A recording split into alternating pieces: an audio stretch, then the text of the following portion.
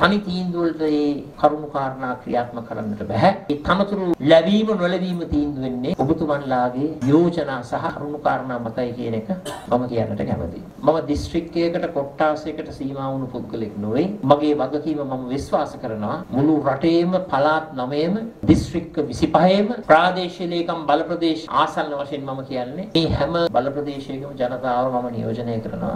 ජනතාව පෙරටු කරගත් ජනතාව කේන්ද්‍ර කරගත් ප්‍රගතිශීලී දේශපාලන ගමනක් ක්‍රියාත්මක කරන්නට. අපේ පාක්ෂිකින් රැකගෙන පාක්ෂිකින් ආරක්ෂා කරගෙන බෙදෙන්නේ නැතුව කැඩෙන්නේ නැතුව එකමුතු වෙලා ජයග්‍රාහී ඉදිරි ගමනක් ක්‍රියාත්මක කරන්න.